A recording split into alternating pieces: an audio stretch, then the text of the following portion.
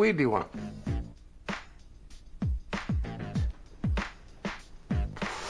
I got the Incredible Hulk. I got the Green Monster. I got the bling. I just want a bag of fucking weed. It's like Cypress Hill concert in here. I don't rent to those kind of people. Brought over some crazy Zimbabwean weed that'll turn you into a deer. My grandma drank all my pot. I didn't know you were bringing people. I would have trimmed my antlers. I can hear my hair growing. What kind is this? This one's called the Brown Bomber, because when you smoke it, you get so stoned you shit your pants. Anybody got a light? I found some weed.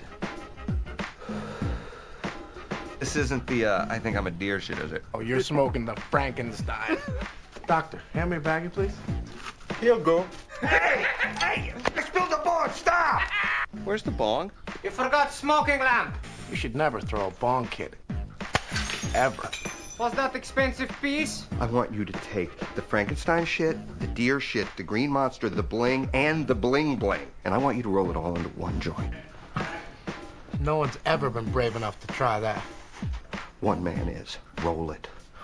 I'll smoke it with you, bro. Don't judge me, monkey. We'll go to the loony bin together. I don't give a fuck. This is more of Albert.